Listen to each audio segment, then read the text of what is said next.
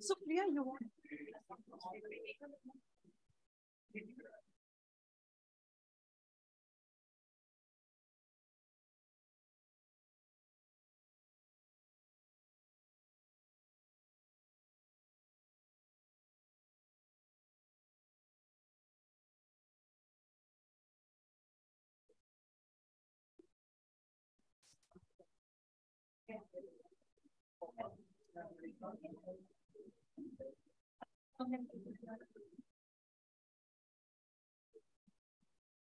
Okay.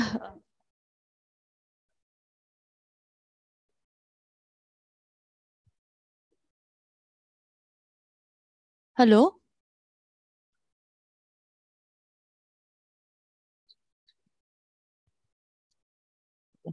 Hello, everyone. Thank you so much for being here, uh, whether online or in person. So we're excited to be celebrating World Wetlands Day today. Uh, just a few housekeeping rules before we begin. Uh, please keep all questions till afterwards since we have a series of lightning talks. So we're trying to keep the pace going and not get bogged down with questions and answers in between. So we'll have tea break afterwards. Feel free to ask any questions at that time. And uh, we'll get started. Uh, I'll give it to Dr. Jamwal.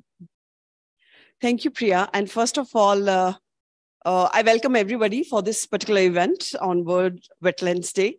And a special thanks to Priya and to Ravikant for coming up with this idea and helping me organize this particular event. So thanks. Thank you so much. Uh, we'll start. Uh, so before we jump into the lightning talks, I would like to quickly uh, so before we jump into the lightning talks, I will just quickly um, walk you through what what uh, like you know what are wetlands, why they are important, and why do we want to restore? Just setting up the context for all the lightning talks, so that like you know we can just come back and relate to like you know why we are doing the stuff which we are doing here at ATREE. So. So World Wetland Day is celebrated every year on 2nd February, and uh, uh, it uh, the, so this particular day, 2nd February, it marks the adoption of Ramsar Convention, where all parties met in 1971 for protection of these uh, fragile ecosystem. So what are wetlands? So wetlands are the land areas which are saturated with water, either throughout the year or seasonally. So there are different types of wetlands, uh, inland wetlands, which the examples are like marshes, lakes, swamps, floodplains. Bangalore Lakes itself are, comes into this particular category of inland wetlands. Again, they are human-made inland, inland wetlands. Um, so uh, coastal wet, we also have a category called coastal wetlands where we have uh, saltwater, marshes, estuaries, mangroves, lagoons, coral reefs, also categorized as wetlands. In addition to that, fish ponds, uh, irrigation tanks are also categorized as wetlands. So why are wetland important? Like, you know, why are we talking about wetlands? So wetlands provide multiple, multiple benefits. First of all, we all know that 1% of the total fresh water available is available for human beings. Out of that, 30% is provided by the, these wetlands.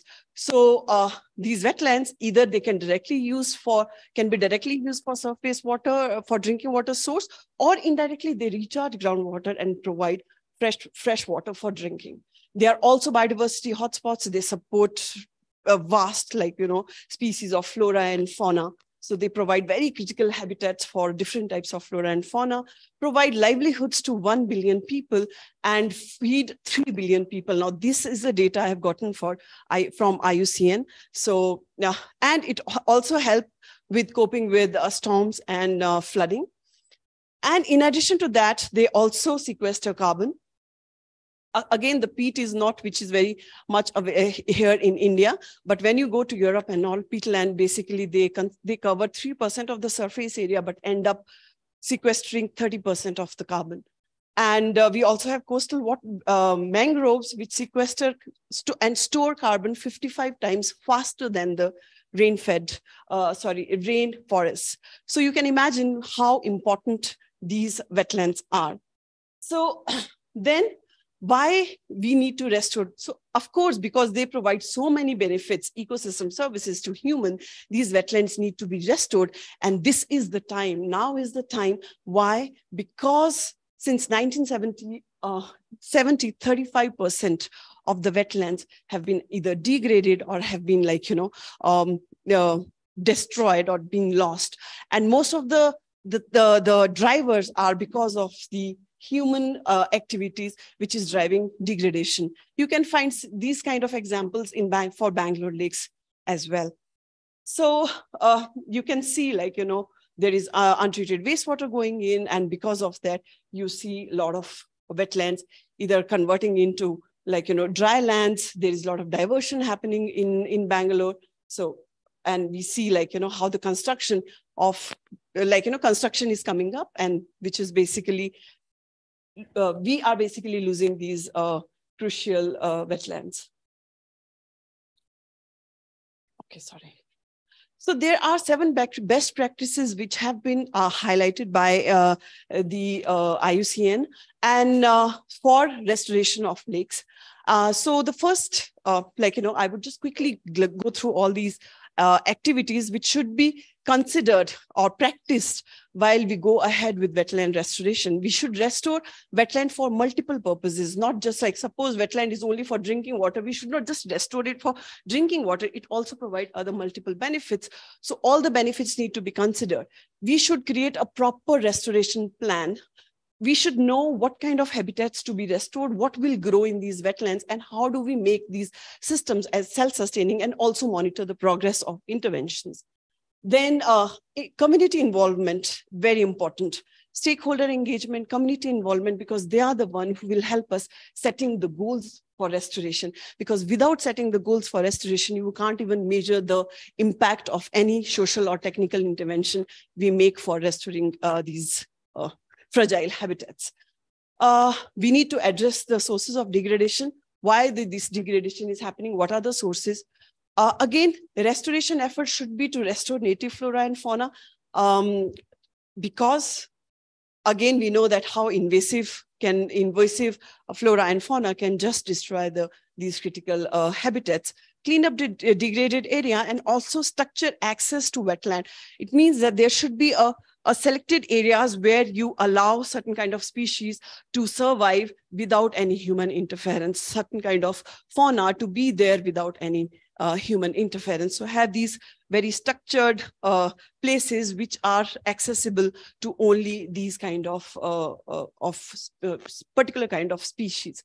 So um, yeah, so this is like, you know, the introduction part. And now I will quickly um, walk you through the work which we have, we have been doing in Hennagara Lake, how we are taking into consideration all these seven best practices to develop a restoration plan for uh, restoration of uh, Hennagara Lake. Yeah, we'll go for the next presentation. So this is a part of a lightning talk, so I'll just quickly finish it off in three minutes.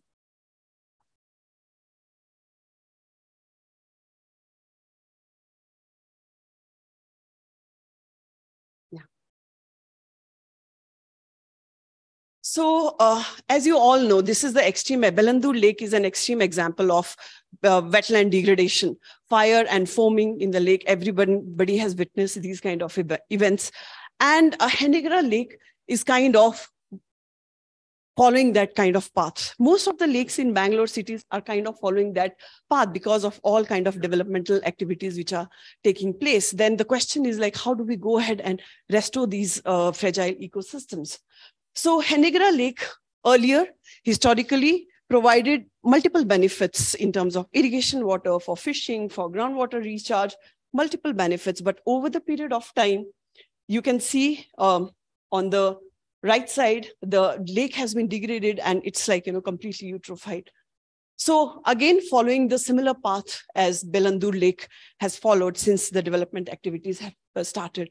So what are the drivers? Uh, for, for this change in Hennagara Lake. So this particular map shows the catchment and how the catchment has kind of became uh, from rural to urban. And at present, 80% of the area is urbanized in the catchment.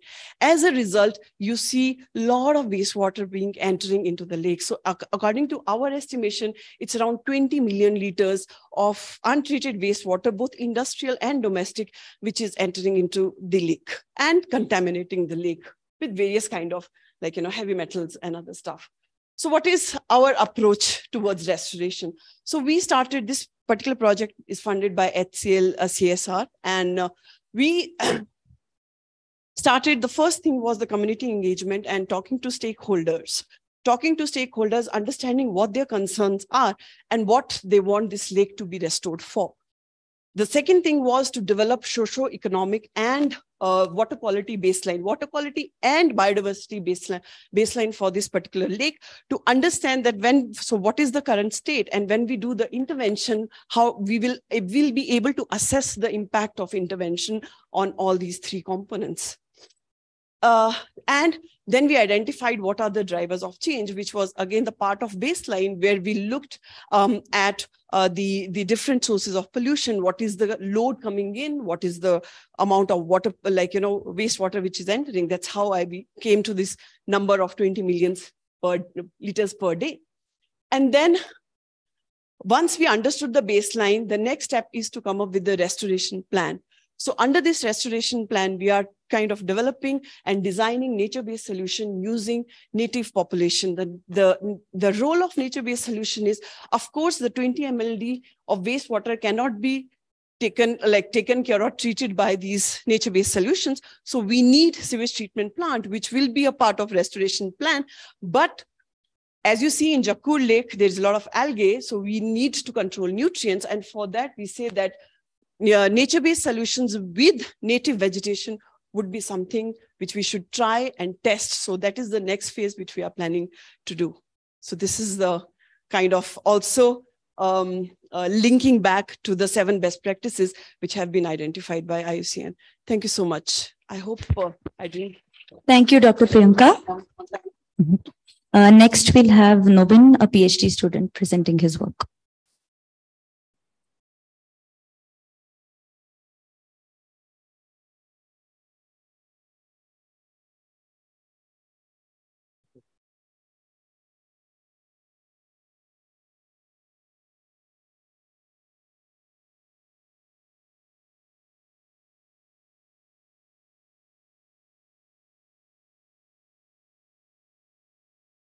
Okay, hi. Uh, today I'll be talking about using environmental DNA as an effective approach to monitor and monitor the distribution and impact of invasive alien species.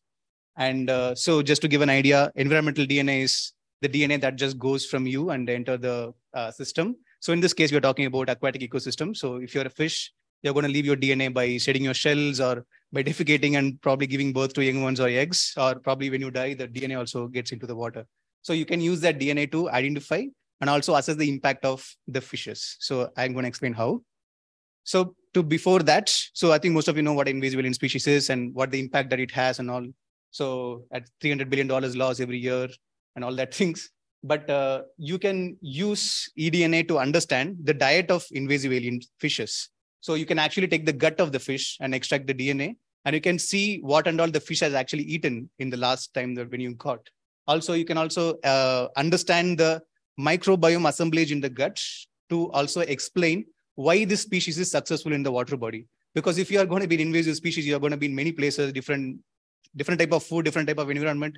You have to have a really good gut microbiota to digest various types of food. So that also explains the invasive success of the fish. And uh, then in terms of monitoring, you can do species distribution. You can find whether the species is there or not. You can also do that for multiple species in the same time using next generation sequencing. And also you can assess the density, like how much amount of DNA per how much amount of species. And uh, you can also detect rare invasive alien species if the invasion, the earlier stages of one or, one or two fishes just enter the water body, you can still detect those things. And uh, you can also do restoration assessments. Like after you restore a water body, you just wanted to make sure there is no invasive species is coming in and all these things all of this will work for any species you want to work in the water body. But in this case, I'm only focusing on invasive fishes. Yeah. Yeah. So we just did a pilot scale study uh, with the pilot technique. And uh, this is Malavalli Lake in Karnataka. And uh, we sampled for Gambusia species. And uh, we wanted to know what the fish eating in that lake. So I took out the fish and the fish gut has DNA, whatever it eaten that day morning, because it's a diurnal fish. So it caught in early morning. And then you can isolate the DNA and then you can go for uh, next generation sequencing. In this case, we use something called nanopore sequencing. Yeah. Which is also a technique that we tried out. And uh, so this is how the typical results looks like. I'm not going to walk through any of these things, but just I just made this in a hurry. But the understanding is that you can actually find a different profiles of DNA present in the gut. And also you can see one of the limitations is that you will find uh, most of the host DNA also because the gut is made up of the fish DNA. So there are ways to reduce that error also. So this is just a preliminary results, but you can find that you can find frogs DNA and other insects and uh, even other fishes also, because this fish is known to predate on other uh, tadpoles, also uh, frog eggs, also on other fishes' eggs. Yeah. Some of the eggs are economically important fishes and so on. And uh, this is a bacterial community assemblage in the guts. So this will only make sense once you start comparing different landscapes, because then only you will understand why this microbiota has to be in this gut of, of this fish for it to make, become successful in that water body. So when, once we start comparing the different locations, then we can come to that conclusion. But this is a preliminary data. So I'm just showing what the eDNA can tell about a biological invasion in wetland ecosystem, which is one of the most vulnerable compared to other ecosystems, right? Yeah. And uh, yeah, so yeah, so the understanding is that we have to standardize the techniques and uh, the diet can be understood when comparing different landscapes. And also, you can also understand host parasite interaction because the some of the invasive species also bring parasites inside the water bodies, which can be lethal for other native fishes. So you can understand what parasite living and in the uh, fish and how it can spread to other places and so on. It's also a very good tool for general biodiversity assessment of all kind in, in water bodies. Yeah. And uh, the future studies, we are going to use the same technique in a larger scale where we are going to look at a lot of Ramsar wetlands. So this list is based on August 2022 because they had a lot of wetlands. So, but according to this list, we are trying to look at selected water bodies. We are going to look at uh, different type of fish assemblage of invasive species fishes. And uh, also we are going to look at the diets and how it is causing problem to those water bodies. So that's it. Okay, yeah. Thank you. Thank you. Uh, next, we'll hear from Rashmi Mahajan.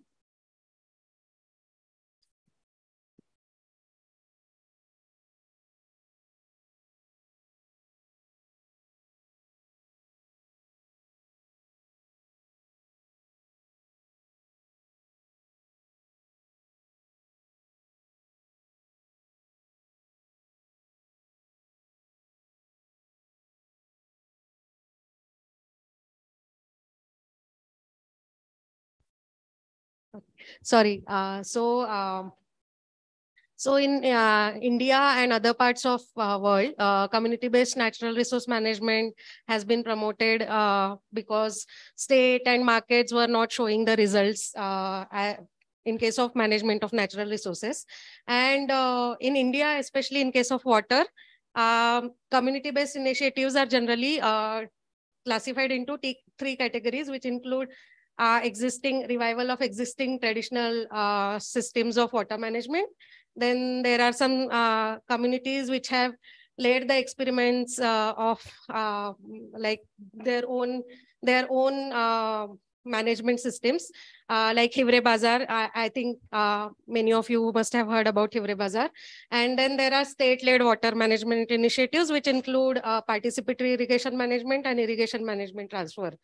So, uh, but uh, scholars have shown that many of these initiatives were based on a, a very uh, simple understanding that community is a homogeneous entity, which is not the case. Uh, community is a complex entity and um, there are a lot of things which needs to be looked when we think about community, which include uh, various socio-cultural uh, factors, and it include uh, we need to look into histories of those communities what are the local contexts understand the uh, class caste and gender dynamics in those communities uh, if we really want to understand communities better. So uh, and also in if we are thinking about the uh, local water bodies or local water management systems uh, they are just not like to provide irrigation. They are also to provide different non-irrigation services. Uh, they support livelihoods like uh, fisheries and they also support local activities. Uh, so uh, we need to take all these things into consideration when we are focusing on management of local water management systems.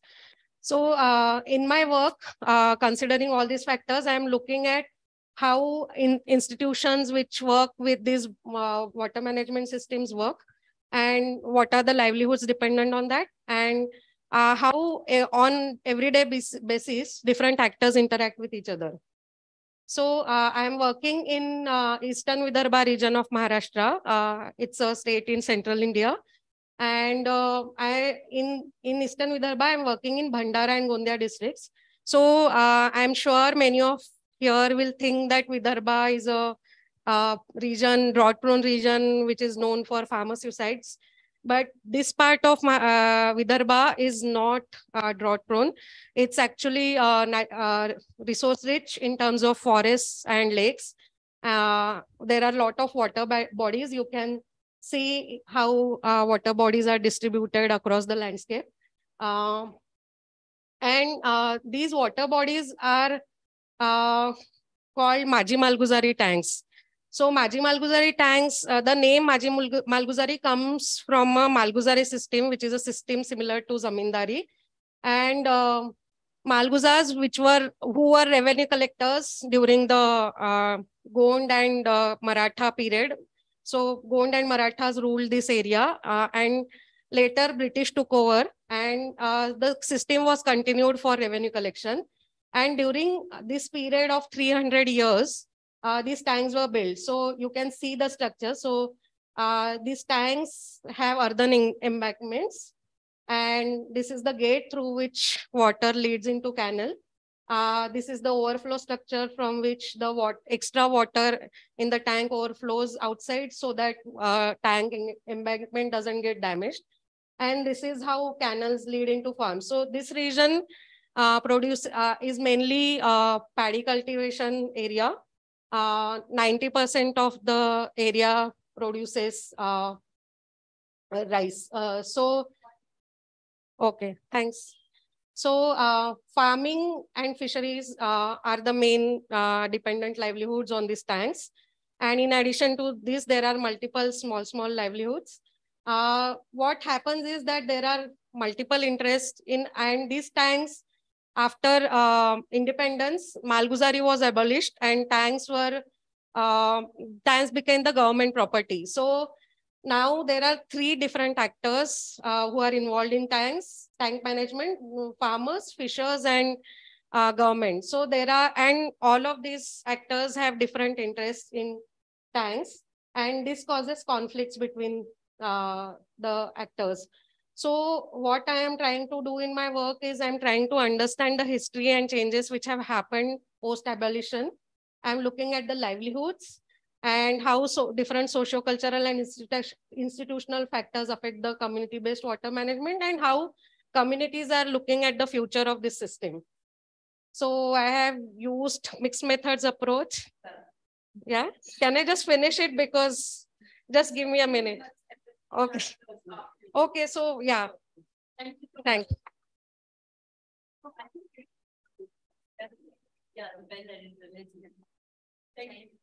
Who is next? Who is next? Uh, next, we have Anamika.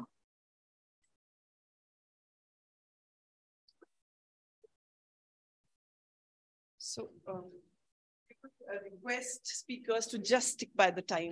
Yeah, thank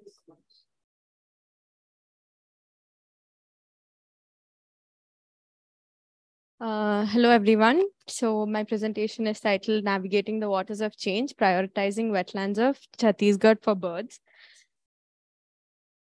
It's on, I think. Okay.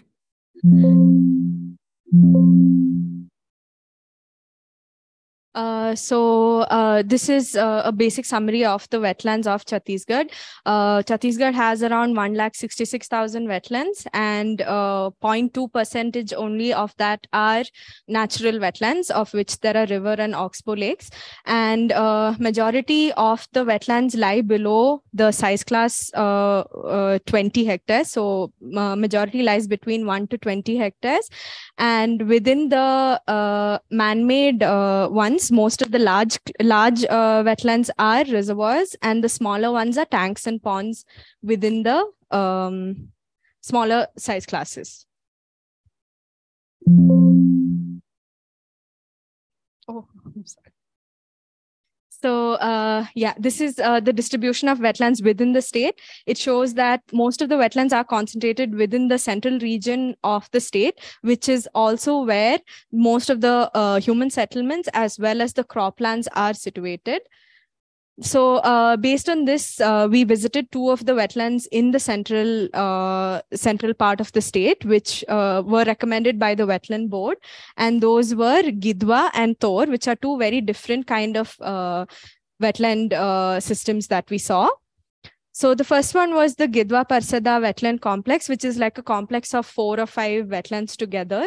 This uh, this wetland was actually declared as a um, as a bird safari or a protected area, and uh, after uh, after it was recognized that a lot of migratory bird species actually come to this wetland, and uh, this is a, a man-made wetland that's created around 30 years ago.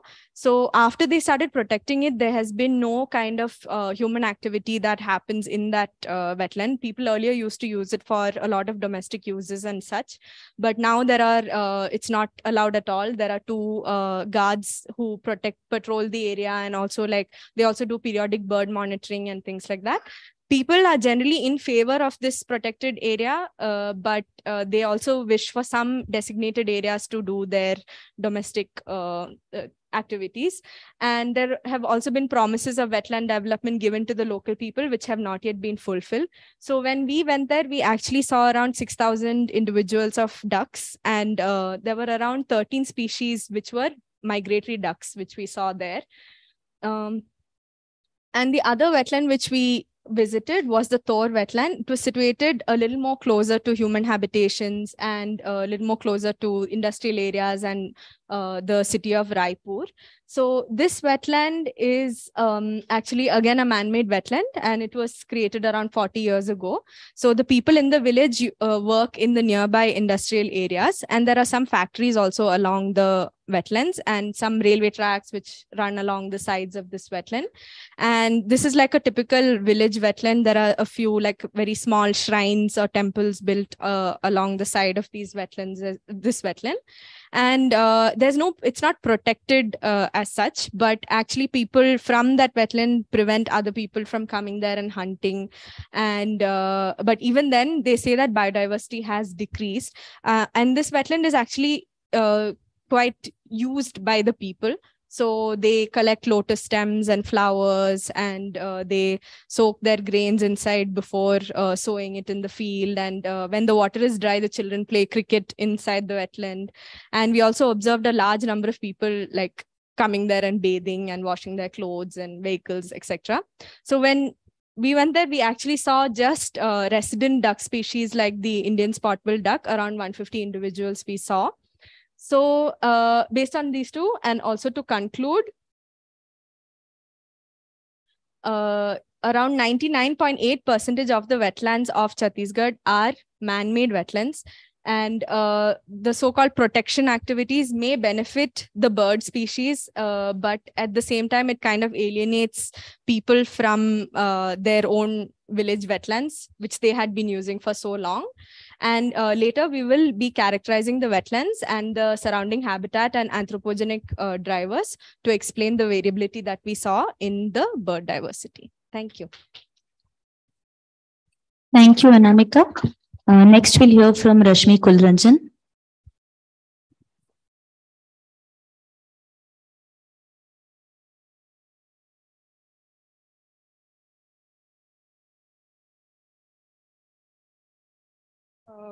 Good afternoon, everyone. So today I'll be talking about my work on uh, modeling urban lake systems uh, using the case study of uh, Bangalore's cascading lakes.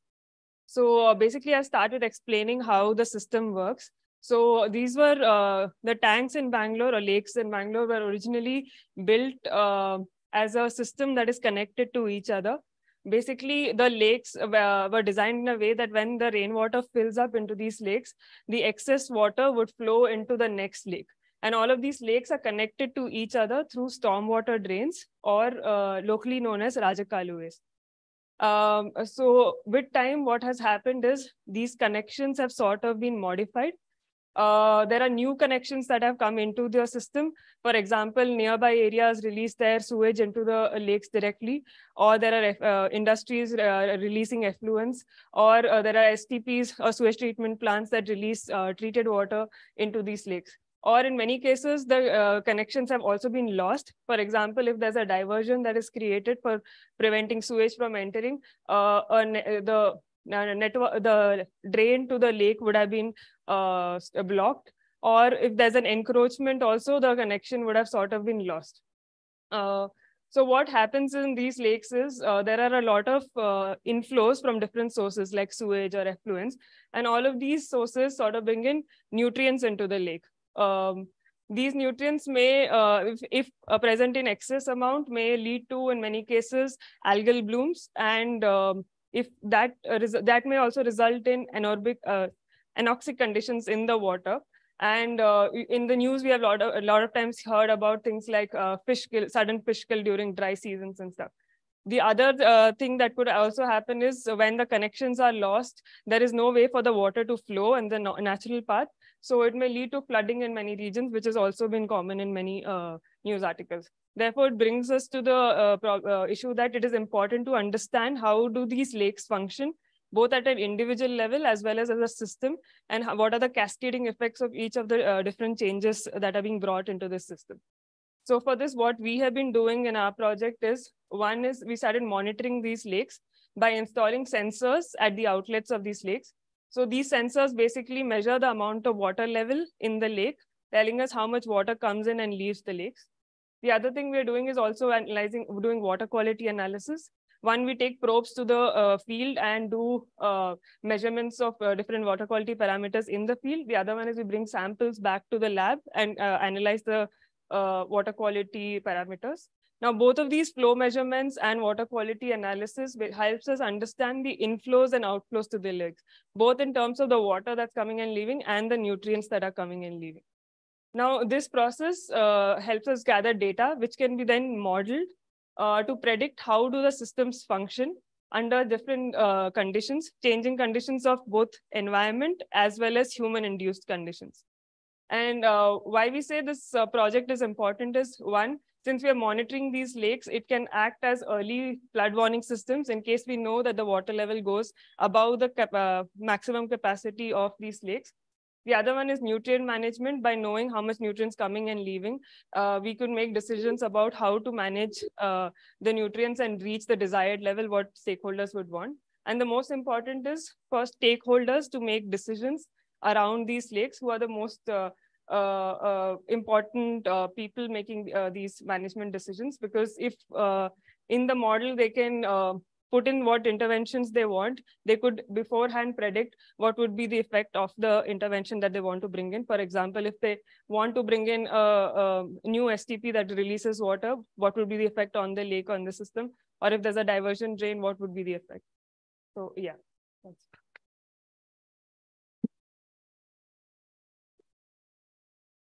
Thank you. I'll be going next, so give me a second.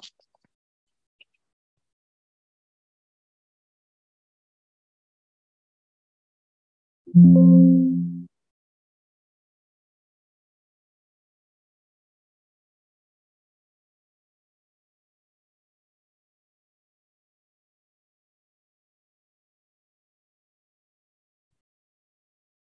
Uh, hello, and uh, thank you all for attending this program on the World Wetlands Day. So today I'll be just talking briefly about the uh, Myristica swamps that I work in and why they're so fascinating and require uh, study.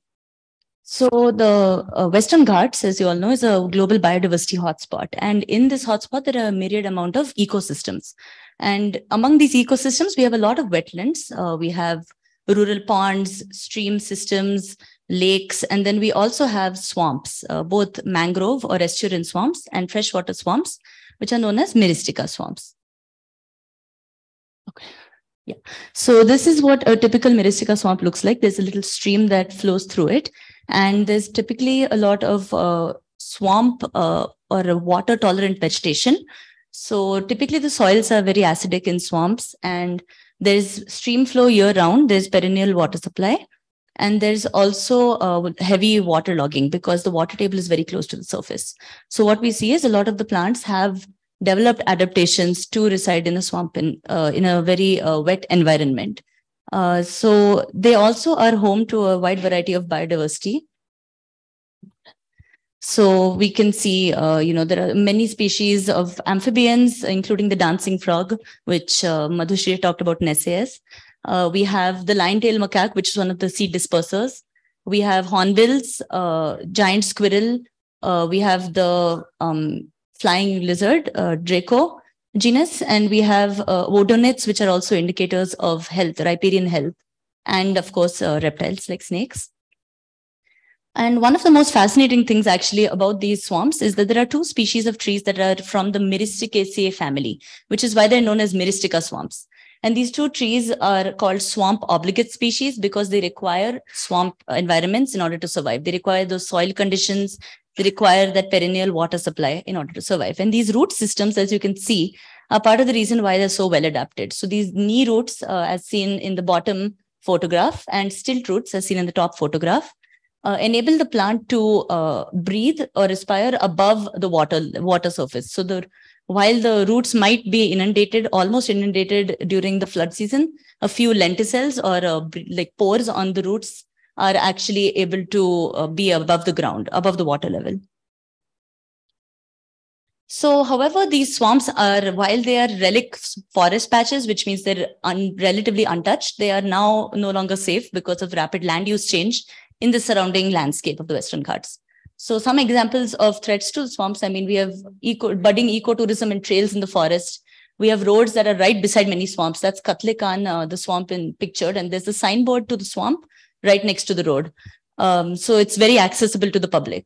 Then we have direct extraction of water for irrigation and domestic use, as well as the rise of areca plantations bordering swamps. And this is because areca is a water, uh, it's a, it uses a lot of water. And so it's very convenient for farmers to use drain swamps and use that land to plant areca. So actually a few farmers I met in my recent field visit even have started planting areca trees in the middle of the swamps because they say eventually the areca will push the swamp trees out and it will benefit them. So the thing is, we really need to, is that a three or five? Sorry. Okay. so we need to understand the main threats to swamps in order to better conserve them. So in order to do that, I'm following a process called threat mapping, which was uh, a protocol set by Tambat in 2012. It's a way to understand the relative importance of different threats. And all swamps are really not equal. Some are very small, some are a little larger, but even the largest are like one acre, one hectare in, in size. So you can imagine these are really small fragmented ecosystems. There's also the thing of use value, which is you know using it for water and, and um, NTFP collection and the cultural value. Some of these swamps are sacred. So the villagers might view it as the god is giving them provisioning, which means they have the right to access the forest. Or they view it as outsiders cannot enter, but they themselves who go and worship the deity may enter the forest. So there are all these different things that come to play. So we can't grade the threats equally across swamps. We can't say all swamps are threatened by areca because some are sacred, some are not. And communities may conserve, but they also may encroach, right? So how do we tread this delicate line between uh, what is a threat and what is actually a conservation measure? So in order to do this, I'm trying to look at conditions for key species regeneration in swamps. So the myristica trees that require water year round, and they require high soil moisture, and they require the seed dispersers, which means hornbills and macaques require a dense forest cover in order to move. So we need to maintain that forest cover. We need to maintain the water source throughout the year. We can't have the water diverted for plantations. Otherwise, we'll be losing these trees.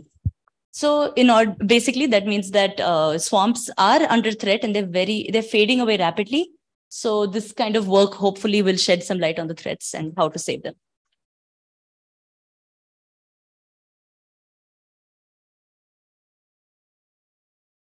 So, up next we have Gauri.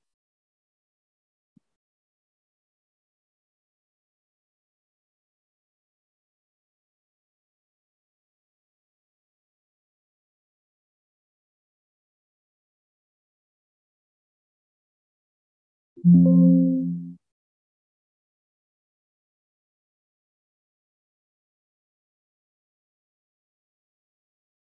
today I'll be speaking about how satellite radar data is used to extract uh, seasonal water bodies is, and uh, this is used for health applications. As we can see, Shimoga, Wayanad and Sindhudurg, three beautiful landscapes, which are a part of Western Ghats, uh, are very beautiful, are very relaxing and uh, a beautiful time to spend the monsoon season. Whereas these three study areas are associated with the Kyasanur forest disease or KFD, most commonly called as, as most commonly as it is called. So the uh, KFD is more KFD is a tick-borne disease, is which is uh, prevalent in summer season and it is transferred to uh, humans by the tick bite. So during summer season, what happens is the so during summer season, what happens is um, the water bodies shrink or disappear, which provides a pathway for these ticks to migrate from one place to another. So it is very essential for us to extract water bodies to study uh, the tick movement and to uh, map and to and to provide early warning system for these uh, for the spread of this disease. So, uh, but extracting these water bodies is a challenge so uh, as we can see here, the image, the Landsat data, uh, which is an optical image, as is covered by cloud during the monsoon month, whereas uh, so we uh, used another data, that is the Sentinel-1 data, which is obtained from a radar sensor. And these radar sensors can penetrate through clouds and provide us a cloud-free data. So these, so this data set helps us to helped us to extract water bodies throughout the year. So uh, we tested four methods. They are the manual, Otsu, valley emphasis, and the Bayesian method. Uh, and these results were tested uh, against the field data obtained, and we found that the manual approach was the best, and it was very accurate. Further, we compared that data with the JRC global data set obtained by uh, obtained by obtained from the Landsat 8 data which is an optical data set provided by the European Space Agency, we can see that the Sentinel-1 data has uh, extracted the smaller water bodies, inundated paddy fields also, whereas the JRC data has extracted very little water body. And we can see here uh, the JRC water body is uh, covered by cloud in uh, during the monsoon season. This is the July image, and we can see that uh, it is covered by cloud. And there are scanline errors, which is prevalent in Landsat 7 data. And uh, here in this graph, we can see that um, the area of water bodies from Sentinel-1A are the black bar plots. And then the gray bar plots are the JRC data. And the gray triangles represent the cloud cover. So when there is no cloud cover, Sentinel-1A has extracted more water bodies or equal amount of water bodies is uh, as as the JRC has extracted. Uh, but during the monsoon months, like in August, we can see that um, uh, Sentinel 1A has ex extracted more water bodies, but uh, the JRC data is completely cover covered by cloud. The, yeah, these uh, extracted data, bod uh, these extracted water bodies are are fed into models to map disease spread uh, and it helps to allocate health resources to tackle outbreaks. And uh, it helps, uh, and it also identifies inundated paddy areas. And these uh, water bodies can also be used uh, for flood mapping, analysis of water spread dynamics, and uh, analyzing seasonal variation of water bodies too. Thank you. you. Next, we have Shri Ranjini.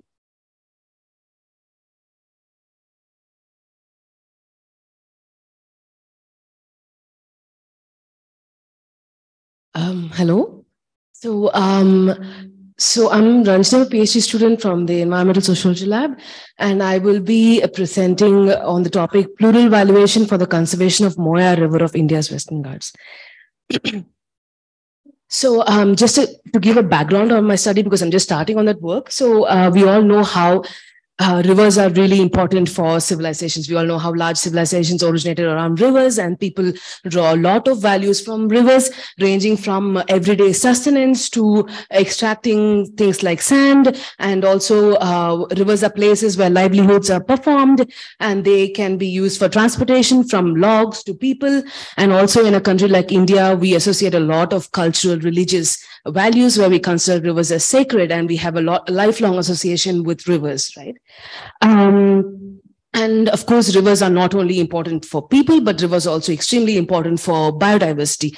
A lot of organisms carry out their entire life history within uh, flowing freshwater rivers and they depend entirely on these rivers and for them to be flowing for them to exist and um, not only the river stream itself but also the riparian vegetation on its banks. A lot of uh, wildlife depend on the trees and vegetation that grows along these rivers right? Um, but of course also we know that we especially in the last half a century in the Anthropocene, we have been using rivers extensively. I mean, we've always been using them, but we've modified them extensively in the recent past uh, both uh, in terms of river morphology, where we have constructed large dams, we have straightened out rivers to reclaim the land for agriculture. We have also been dumping a lot of untreated waste right into the river, which has affected both the quantity of water that flows, the quality of water that flows, and the habitat that's available for life in the river. And uh, not only are we affecting rivers, rivers are also affecting us quite a lot. Like we have huge floods that are causing a loss of property and lives to people. So the, the point here is that we need to look at rivers or we need to manage rivers for the the plurality of values that can flow from them and not only for one or two values. Like uh, presently river management mostly is around hydropower generation and water for irrigation. But we also need to recognize that rivers produce a lot of other values. For example, rivers have huge values in uh, flood mitigation. The flood plains, if we don't convert them or you know dam the rivers, then they can mitigate a lot of flood.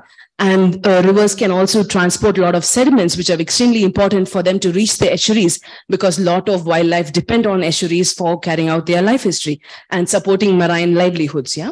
And also the fisheries uh, that that the freshwater fisheries also support millions of people, both livelihood and their nutrition. So our current management is not as actually ignoring many of the values, both for wildlife and for people. So my question would be, can plural valuation inform river management for conservation and environmental justice? That would be the overarching question of my work. And I would be asking this question uh, of the Moyar River that flows in Tamil Nadu. So this is a tributary of Kaveri it flows uh, across the districts of um, uh, Nilgiris and Erode.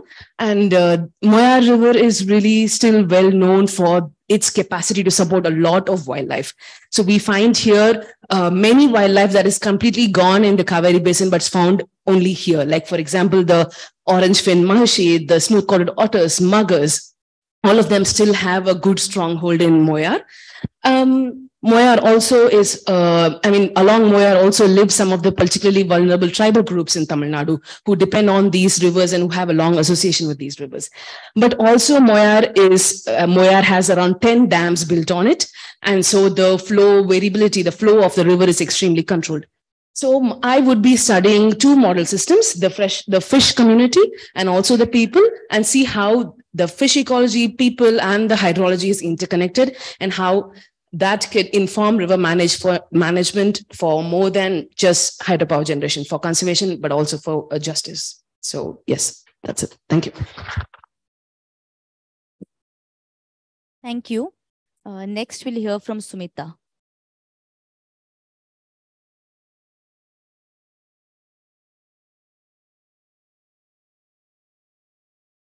Hello, am I audible? Uh, good afternoon, everyone. Thank you for coming today for today's session. So I'll be giving a quick uh, run through about the work that is being done to look into how aquatic plants can be used for monitoring urban lake water quality. So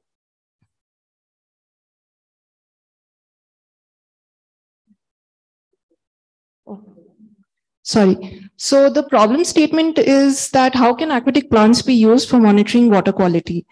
So the approach here is that uh, to look at plant forms, aquatic plant forms. So broadly speaking, they can be categorized into four groups, submerged, basically plants which are found completely inside the water, and they tend to be found in clear, transparent waters.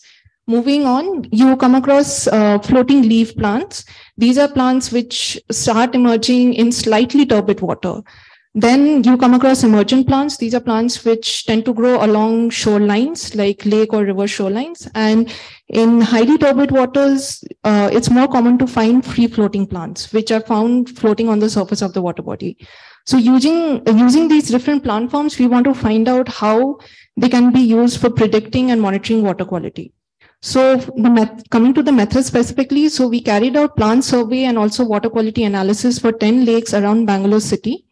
Uh, we carried out surveys at uh, different lakes uh, using 100 meter stretches and then taking surveys between each of these uh, stretches across a, uh, across a lake. So for example, in this lake, we have three such survey stretches. We have equidistant points and at each point,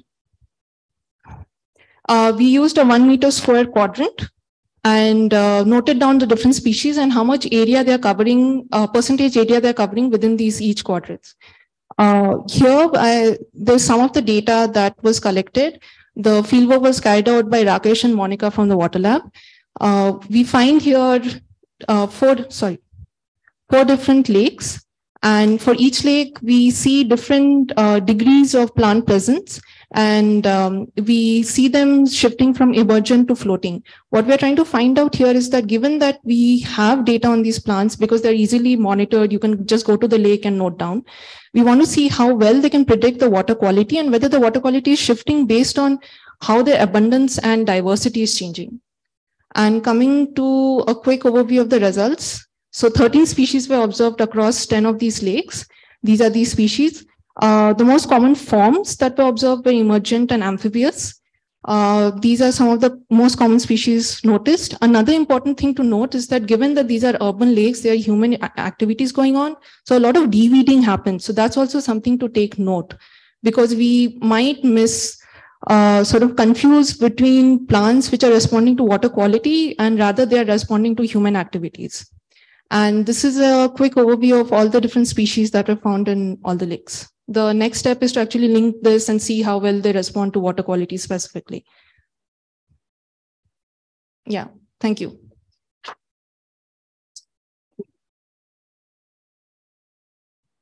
Thank you. Next, we'll hear from Sneha Shahi.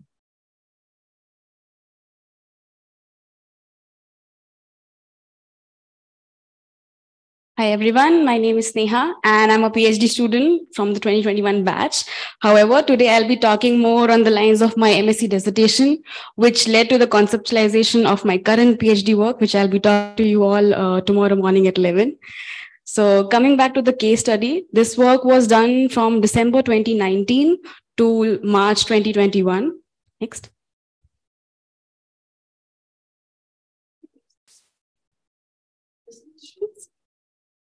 Yeah. So it started out by looking at a stream which flows through the university, which is the Maharaja Sayajirao University. Vadodara is a small city in Gujarat, and it has a lot of rivers and small streams and wetlands connected to each other, which are a habitat for mugger crocodiles and soft-shell turtles.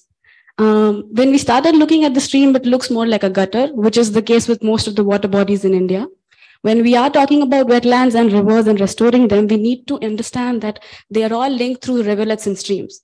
And in managing the bigger water bodies, we also need to look at the smaller water bodies that link all of them and, you know, maintain an ecological flow between all of the water bodies. So understanding the history of how the particular stream or a rivulet or a river became so? How did the stressors start applying so much pressure that the natural resilience just couldn't bounce back is very essential. For which the project team, which was me and some of my juniors, started mapping out a lot of crocodile nesting sites, water quality, soil quality, sediment profile, and then a lot of surveys to understand the health profile of the people who live in formal and informal settlements along the river. When we started out with the water quality sampling, we also made sure that we understand the water quantities. Because of the waste lodged between the bridges and along the stream, the water quantity might not be as high, but it leads to a spillover, which leads to a lot of flooding. This causes lack of opportunities for informal settlements and they have to move to other places. Similarly, leading all the crocodiles to move into the cities having a crocodile found in your locality in Vadodara is not news to anyone. And uh, it's something that people have accepted and moved on from. However, these crocodiles don't have enough fishes in the water because of the water quality, which is degraded to an extent that the DO levels are zero. So they have to rely on dogs, which are roaming around, or on birds.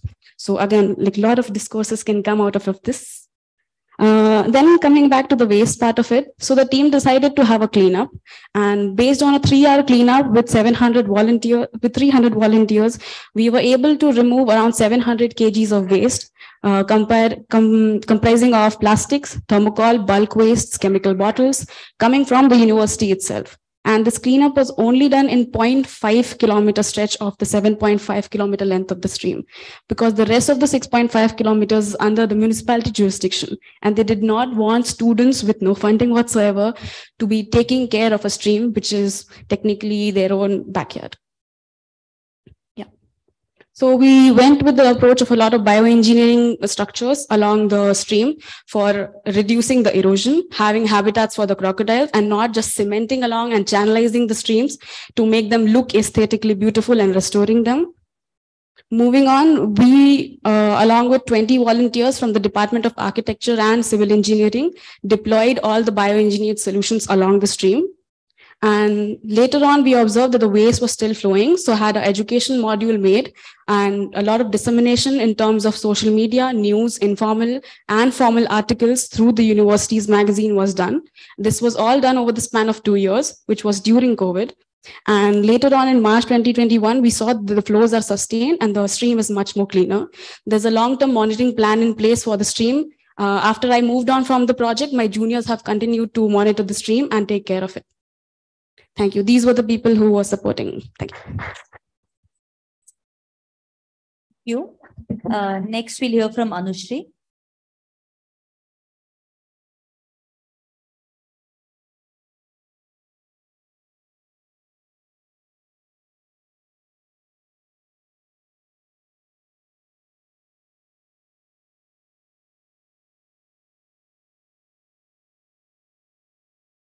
This is bringing us to our final two speed talks, so just sit tight. Thank you so much.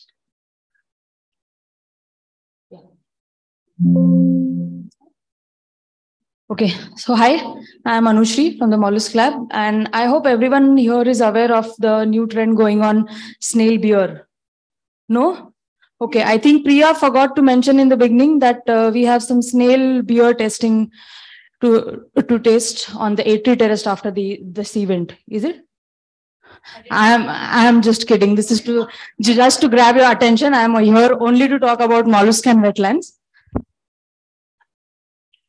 Okay. So I'm I'm going to talk about why mollusks are interesting and why do you need to conserve them and study them. So freshwater mollusks basically are uh, soft-bodied uh, aquatic animals, and they are divided as snails and bivalves.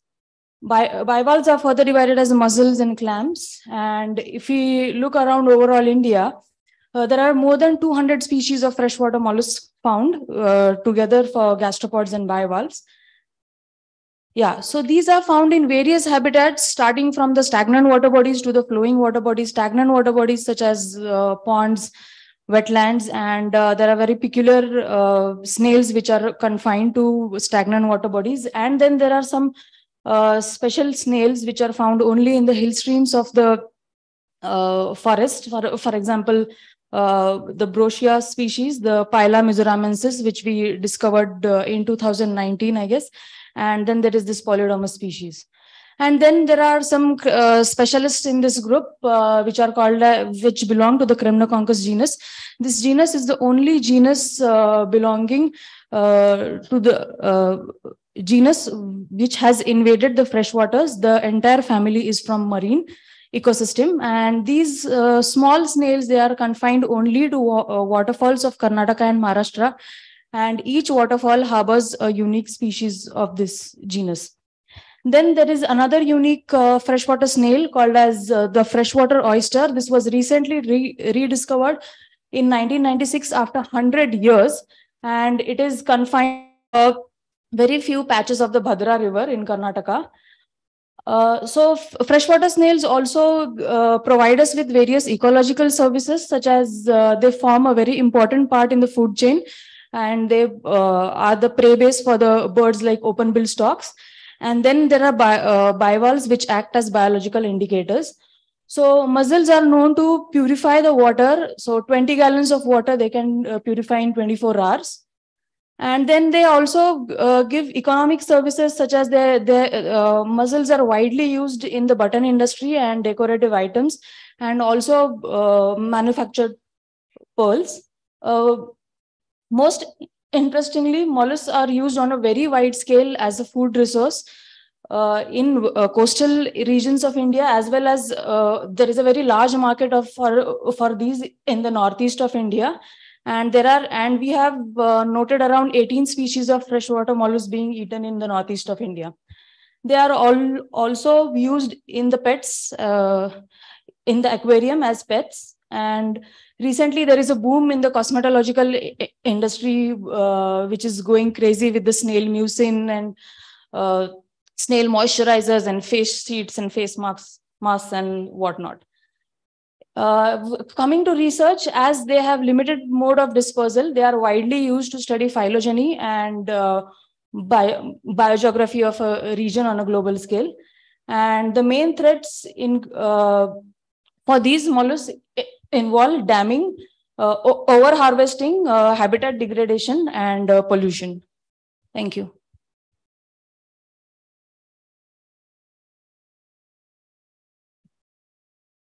Thank you. And uh, we'll hear from Smino.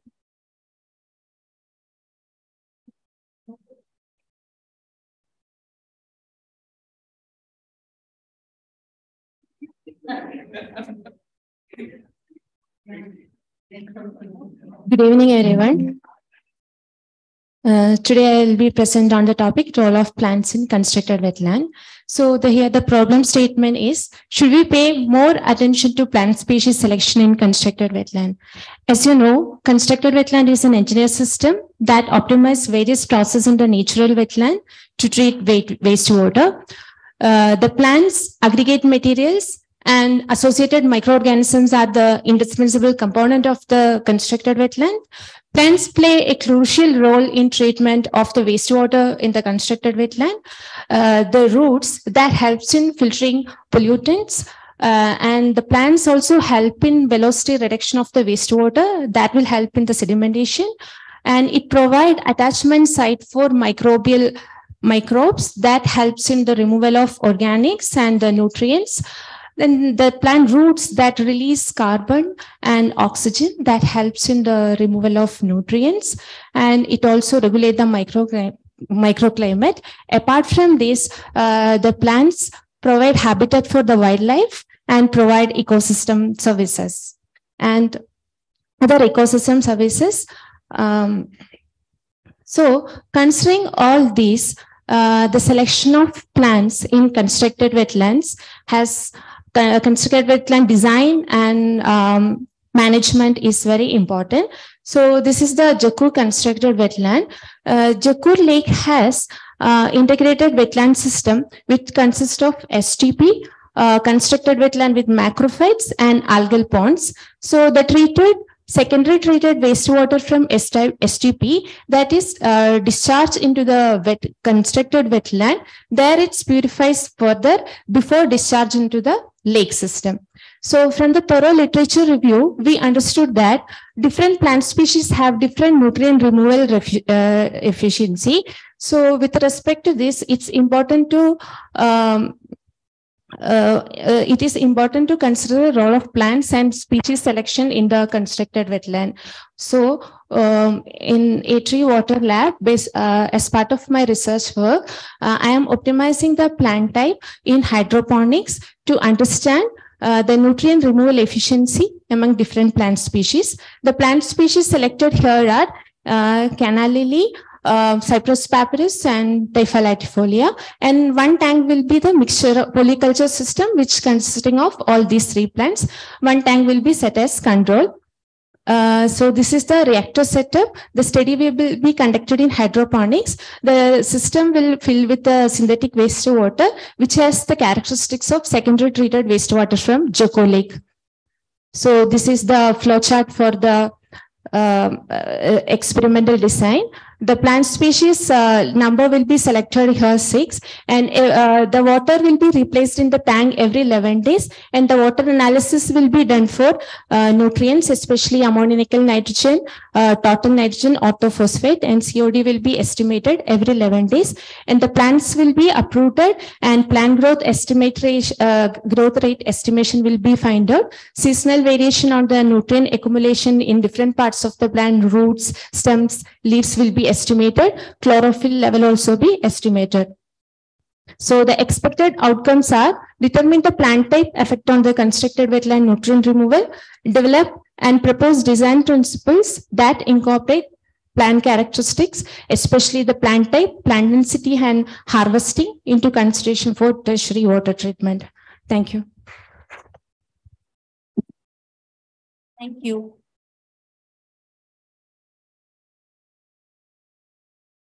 So thank you all so much. Uh,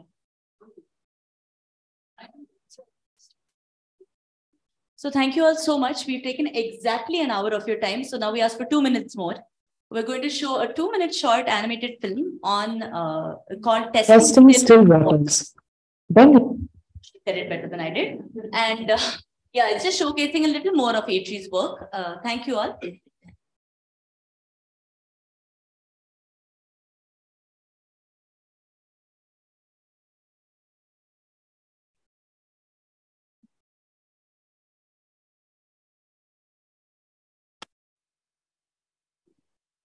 Testing still waters.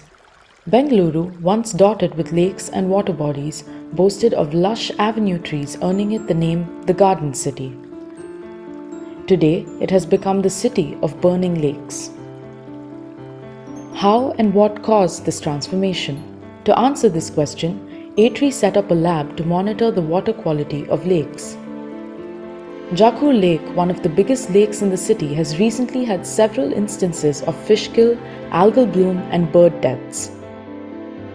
ATREE regularly monitors the water quality of the lake, including checking oxygen levels and pH values of the water. This helps us track the condition of the lake and identify anomalies.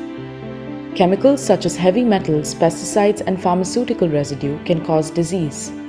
Monitoring the dissolved oxygen levels in the lake has helped us answer questions about fish and bird kills in the lake to some extent.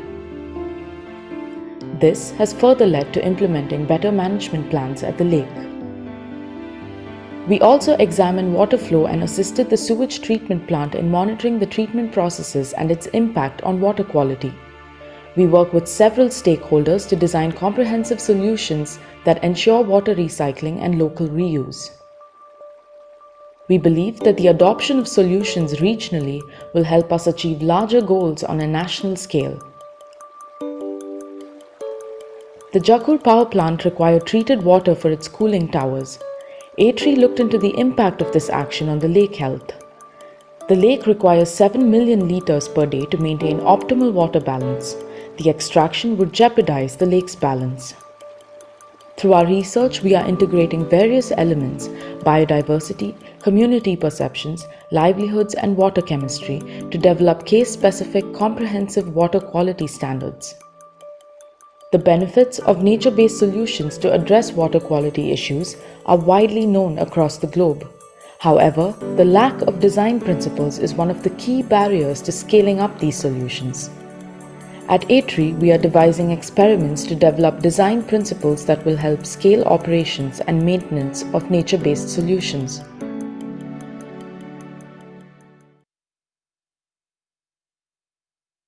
Thank you all for being here today and celebrating World Wetlands Day with us. Uh, yeah, just give it to Dr. Priyanka. So, what an enlightening, enlightening talks is uh, uh, were there. And uh, I really thank everyone, each one of you who made taken efforts to present their work. and also everyone who attended this uh, event. Thank you, everyone.